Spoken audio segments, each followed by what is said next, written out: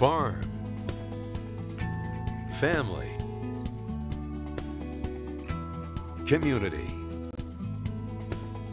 This is Midwest Farm Weekly. Good morning and thank you for spending part of your day with us here at Midwest Farm Weekly. Local dairy breakfasts and events have been an iconic part of Wisconsin culture during June Dairy Month for nearly 50 years. Today we tour the farm hosting Oconto County's celebration. Well, it's good for people to know where their dairy products come from. I mean, it used to be that it seemed like everybody's grandfather was on a farm or their great grandfather farmed. And now so many people are so far away from farming that um, they have no idea really you know where a lot of how it works. At Shallow Acres in Lena, some of the most important business meetings happen around the kitchen table.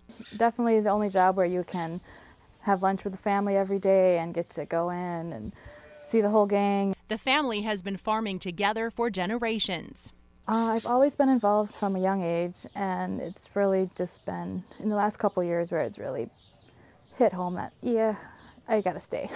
My dad bought it in 1976, and then when I was a senior, graduated from high school in 78, then I bought it from him. And uh, we uh, did a lot of uh, uh updates, uh, did a lot of work to it. Uh, I had a lot of help from my brothers and my couple uncles. Now, 38 cows call Shallow Acres home, spending their days soaking in the sun and grazing. They also get a hearty diet from crops raised by the family.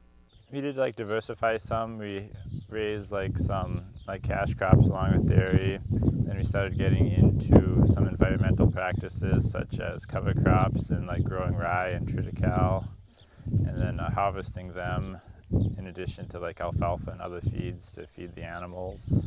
Milk from the farm is sold through a cooperative, sometimes bottled for fluid milk, sometimes used for cheese or other dairy products. Well, it's prestigious to know that we're bringing such a quality product to so many people, and it's really good to know that where your product comes from, get to see that, and know that it's crafted with care at every level. The Shallows name each member of their herd. There's always a theme. We do TV shows, board games. We have Colonel Mustard, Blanche, Miss Scarlet, um, candy bars. Uh, Magnum PI is a big family. We have Higgins, Magnum, Ice Pick, Rick, the whole gang. It's been good. It's been a, a great life. Um, so happy that I was able to raise children out in the country on the farm. Um, it fit in perfectly with homeschooling. And now, so many more people will learn lessons about agriculture as this family hosts Breakfast on the Farm. One thing we hope people walk away with is um, knowing that like small farms can still be uh, successful and sustainable. Even the littlest members of the family take pride in their role on the farm. Well, Thaddeus is our grandson. He loves to come to the farm, and that's always got to go to the barn to see the cows and the calves and the cat and got to hit all the areas and do it all because he loves it and it, it's it's nice to see because that's how it was with my son starting out. You know, he had to explore everything, and now Thaddeus is exploring everything, and no doubt wants to follow in that footstep. So far, you know, he loves cows and has his tractors, and so we'll see where that goes. June Dairy Month is a special time to discover, taste, and celebrate the living legacy of Wisconsin dairy, and you can do just that at Shallow Acres in Lena, Sunday, June 9th. Breakfast is served from 7 to noon with activities continuing until 1. To find a dairy breakfast near you, head to the Midwest Farm section of wearegreenbay.com.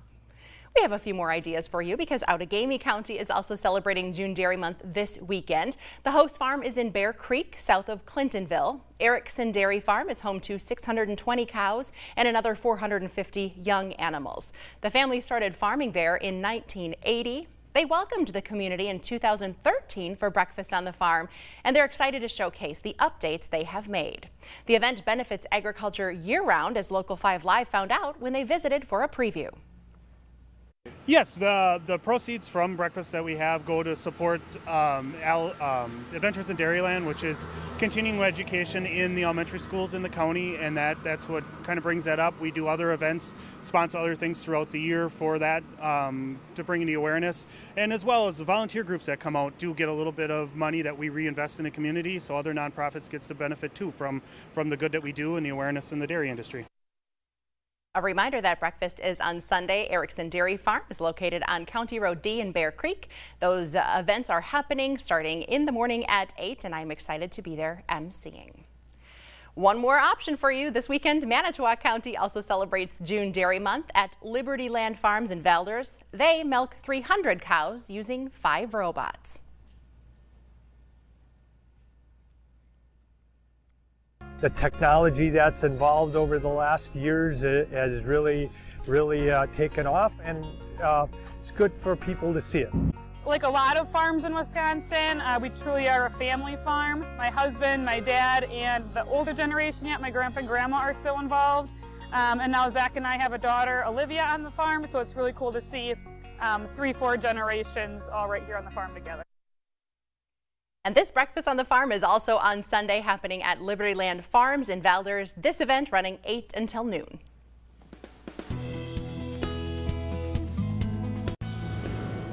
Welcome back. For more than 75 years, Hilbert has celebrated our state's, state's, rich dairy history with a focus on cheese. Mike is here with more on this tradition. Good morning. Nice to see you again. Good morning. So what is a cheese derby? Uh, it started out being a collection of cheese factories that wanted to promote their products. Okay. Uh, since then, um, myself, Brillion FFA alumni, Hilbert Fire Department and St. Mary's Church and School have uh, taken it on ourselves to keep it going. And you have added a bunch of fun events. Uh, yes, uh, this year we will be providing, uh, Sargento has sponsored horse and buggy rides oh, for free. Okay. Um, we will have a miniature golf course set up. Okay. Uh, food and beverages, free cheese. It's free to sign up for a cheese raffle, and you go home with cheese. Okay. Uh, donated um, for entertainment. We have Rocker, who is celebrating their yeah. 50th year as a band wow. together um, for entertainment, and we also have bingo at the event. So. Do we pay an admission price, or how does that work? It's free to come in. Okay. Uh, beverages and milk and cheese sandwiches and ice cream and hamburgers and brats and anything you want to put cheese on, we've got it there. and that's the fundraising component of it, right? yes. So then yes. what do you guys do with the money raised? Uh, well, obviously St. Mary's Church and School, they, they, use their profits to support their school. The sure. fire department supports their, or to help support their stuff. FFA alumni, we are there to support our FFA members, make sure that they can go to state judging mm-hmm. events, state fair, mm-hmm. um, Washington Leader- Leadership Conference, which is coming up for oh, some nice. members. Um, so that is that's what we use our funds for. And if you haven't gotten enough cheese, there's another option too. Calumet County Sunday on a dairy farm. We also want to get that on people's calendar. Yes, uh, June 23rd, we are uh, have held, holding Sunday on the farm at the Calumet County Fairgrounds from 11 until 3 p.m. This year, our focus, we do not have a host farm this year, so our focus is on the history. Oh, nice. Which has been 37 years it's been going. Uh, the original host family was Don Schwab, just south of Chilton. We will be displaying all of uh, what we can all find for articles and pictures and stuff from the events over the years. Also providing a petting zoo kids activity. We have uh, a charcuterie board demonstration going okay. on throughout the event. Is it going to um, look as nice as that? You're going to teach me? It, uh, yeah. All right. Yep, exactly. Deb will teach you. Uh, we have an artesian cheese display uh, along with cheese sampling. Um, my daughter is putting on a milking demonstration throughout the day. She's bringing some of her cows okay. down, so you get up close and personal wow. With milking. Um, and that's pretty much covering the day's events. We are also offering cheese sandwiches and sundaes, and something new this year, we're offering a grilled cheese burger. Oh, okay. Well, I think I need to attend this event to try and sample just what that is. Mike, thanks for the work that you do year round to promote dairy. Two great events to get on your calendar.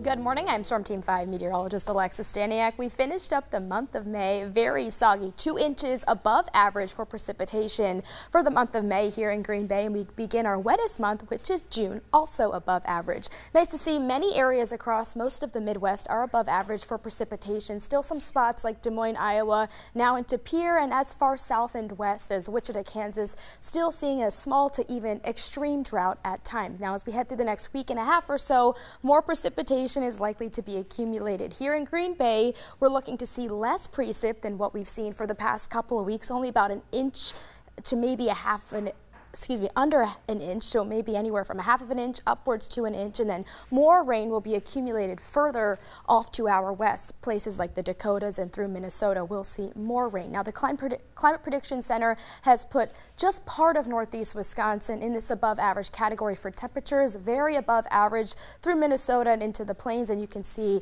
uh, areas through northern Illinois, southeastern Wisconsin are in the chance to go either above or below, so equal chances, and that's how we stay for June June all the way through August. Most of the northern Midwest is in this equal chance to go above or below for precipitation. Below normal is expected further west of Wisconsin and then through the eastern part of the United States will be above normal. Now, most of the country looking to see very warm temperatures as we head through the middle of the month of June. Very warm uh, temps expected here in Wisconsin and slightly above average temperatures expected as we head through the northern Great Plains and into June through August. Most of the country is expected to see above normal temperatures uh, all the way through pretty much till the end of summer. Stay with us. More ag news coming up after the break.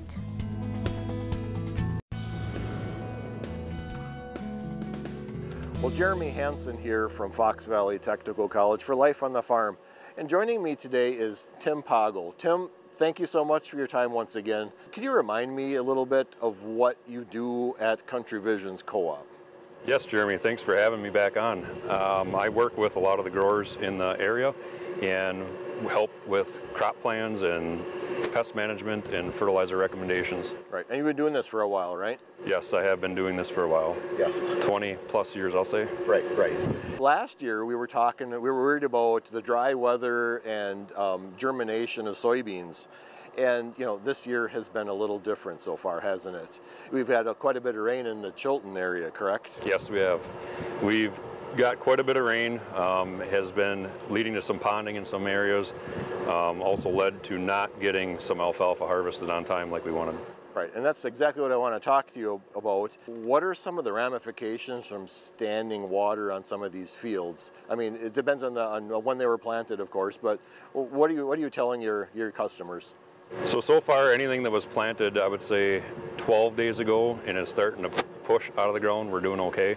Um, with this week drying up, that might be a little bit of crusting for our late planted or our last planted corn. And also the water ponding, if it's over three days, we might be susceptible to having some uh, stands that will not be what we want. So that, that's a replant then, potentially. Yes. yes. Some of these, a lot of these fields have had both fertilizer applied and some pre-emergent uh, herbicides applied to them. What do we, what do you have to do now going forward with these fields? So moving forward, we'll do our second shot of uh, post-emerge corn and, on corn and beans, mm-hmm. and we'll be doing tissue sampling and PSNT sampling um, mainly on the corn to see where we're at on fertility levels and what is actually left in the ground for us to work with for the rest of the year.